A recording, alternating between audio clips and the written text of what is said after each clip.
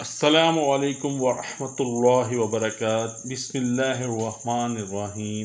जी नाजरीन, हमारी आज की वीडियो सदका फ़ितर के बारे में है कि सदका फ़ितर क्या है और ये किन लोगों को दी जाती है। सदका फ़ितर सैदना अब्दुल्ला बिन अब्बास रज़ी अल्लाह तहों ने फरमाया, रसूलुल्लाह सल्लल्लाहु अलैहि वसल्लम ने सदका फ़ितर फ़र्ज़ किया है। रोज़ेदार के रोज़े को लग और फहश गोई से पाक और साफ़ करने के लिए।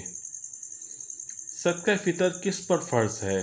सदका फ़ितर की फ़र्जियत के लिए यह ज़रूरी नहीं है कि आपके पास ज़क़़त का निसाब हो, बल्कि जिस तरह एक दौलतमंद पर फ़र्ज़ है, इसी तरह एक गरीब आदमी पर भी फ़र्ज़ है, जिसके पास ईद के दिन अपनी और अपने अहलो आयाल की खुराक से जायद इस कदर मौजूद हो कि हर एक की तरफ़ से एक सा गल्ला दे सके, बल्कि गुरबा को दूसरों के दिए हुए गल्ला से सदका फ़ितर अदा करना चाहिए।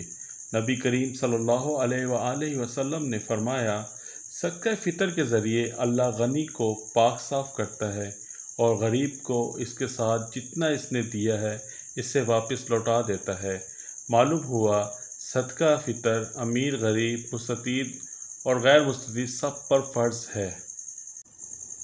सैदना अब्दुल्ला बिन उमर रज़ी अल्लाह तु फरमाते हैं, रसूलुल्लाह सल्लल्लाहु अलैहि वसल्लम ने सदका फ़ितर एक सा खजूर या एक सा जो ग़ुलाम, आज़ाद, मर्द, औरत, नाबालिग, बालिग मुसलमान पर फ़र्ज़ कर दिया है।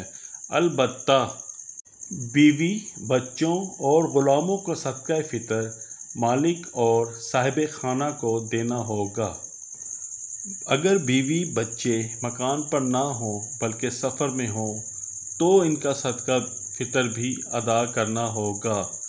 हाँ अगर किसी नाबालिग लड़की से निकाह किया है और अदम बलूगत के बाइस रुखसती ना होने की वजह से वो अपने वालदेन के साथ है तो उसका सदका फ़ितर उसके बाप को अदा करना होगा। वो औरत जो अपने शोहर की इजाज़त के बग़ैर माँ बाप के घर चली गई तो उसका सदका फ़ितर उसके शोहर पर फ़र्ज़ नहीं। सदका फ़ितर सिर्फ़ उन्हीं लोगों पर फ़र्ज़ नहीं जिन पर रोज़े फ़र्ज़ हैं, बल्कि हर मुसलमान पर फ़र्ज़ हैं।